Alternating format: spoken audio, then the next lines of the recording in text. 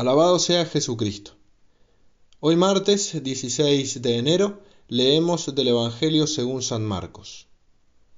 Sucedió que un sábado cruzaba Jesús por los sembrados, y sus discípulos empezaron a abrir camino arrancando espigas.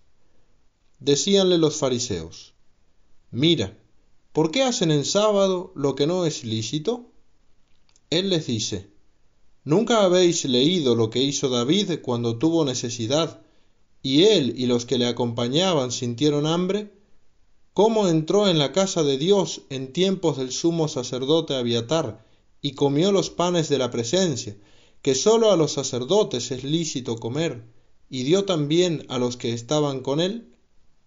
Y les dijo, El sábado ha sido instituido para el hombre, y no el hombre para el sábado de suerte que el Hijo del Hombre también es Señor del sábado.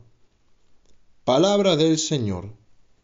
Gloria a ti, Señor Jesús.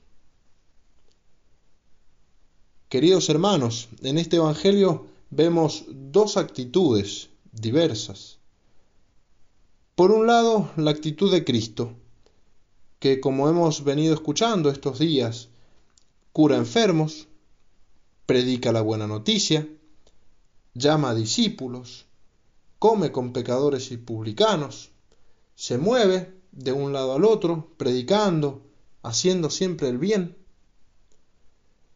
Por otro lado, los escribas y los fariseos, que están al tanto de lo que hace Jesús, pero para criticarlo, tienen la mira puesta en Cristo y en sus discípulos para eso acusan a los discípulos de violar el sábado explícitamente. Jesucristo, por su parte, ante esta acusación, responde dando explicaciones. Hay necesidad, hay hambre, y en estos casos, queréis que mueran de hambre. Y les pone el ejemplo de David, cuando tuvo necesidad, y cómo entró en la casa de Dios, y cómo comió los panes de la presencia, y dio de comer a los que le acompañaban, entonces hay necesidad. Allí hay algo que hay que revisar. Los fariseos tienen una mirada muy legalista, muy materialista de las cosas.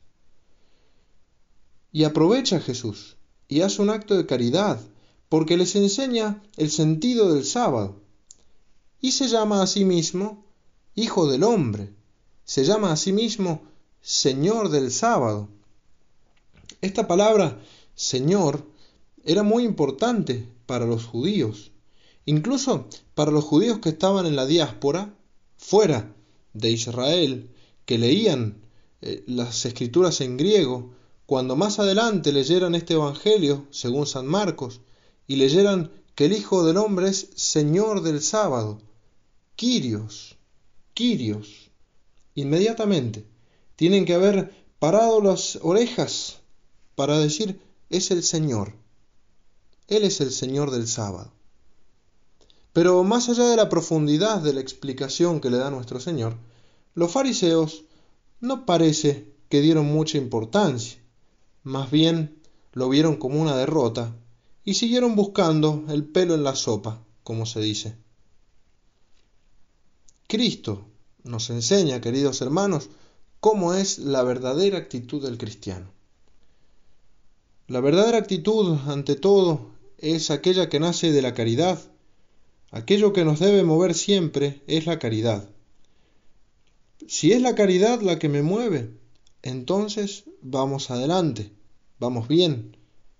Y la caridad es paciente, la caridad es amable, la caridad no se irrita, no toma en cuenta el mal, no se alegra en la injusticia, sino que se alegra en la verdad. Todo lo excusa, todo lo cree, todo lo espera, todo lo soporta. Esto, queridos hermanos, nos lo dice muy bien San Pablo en la primera carta a los Corintios.